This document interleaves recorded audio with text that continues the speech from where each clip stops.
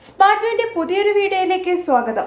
Corona മഹാമാരി വലിയ തോതിൽ പടരുന്ന ഇന്നത്തെ സാഹചര്യത്തിൽ ഈ വർഷം അവസാനത്തോടു കൂടിയോ അടുത്ത വർഷം ആദ്യത്തോടു കൂടിയോ എല്ലാ ഘട്ടങ്ങളും പൂർത്തീകരിച്ച് പ്രതിസന്ധികൾക്കൊടുവിൽ കോവിഡ് വാക്സിൻ എത്തുമെന്നാണ് ലോകാരോഗ്യ സംഘടന തരുന്ന പ്രതീക്ഷ. എന്നാൽ തുടക്കത്തിൽ ഈ വാക്സിൻ നൽകാൻ കഴിയില്ല എന്ന വാർത്ത വളരെ ആശങ്കയുളവാക്കുന്നു. നമ്മുടെ എല്ലാമെല്ലാമായ കരുതലാണ് കുട്ടികൾ. അവർക്ക് ഈ വൈറസ് ബാധ വന്നാൽ കൊടുക്കാൻ വാക്സിൻ തുടക്കത്തിൽ ലഭ്യമാക്കില്ല മുതിർന്നവരെ അപേക്ഷിച്ച് വളരെ ചെറിയ തോതിൽ മാത്രമേ കുട്ടികളിൽ കോവിഡ് നയന്റീൻ ബാധിച്ചിട്ടുള്ളൂ. അതുപോലെ മരണനിരക്കും കുട്ടികളിൽ വളരെ വിരളമാണ്. ഇത്തരത്തിൽ സംഭവിച്ചാൽ ഉണ്ടാകുന്ന കാര്യങ്ങളെക്കുറിച്ച് പ്രമുഖ ഡോക്ടർ പറയുന്നത് ഇങ്ങനെയാണ്.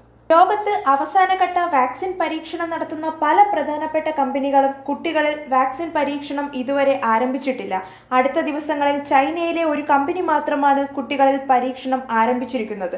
അതുകൊണ്ട് തന്നെ കുട്ടികൾക്കുള്ള കൊറോണ വാക്സിൻ പ്രതീക്ഷ രണ്ടായിരത്തി ഇരുപത്തൊന്ന് വർഷാവസാനമേ ഉള്ളൂ എന്നാണ് റിപ്പോർട്ടുകൾ.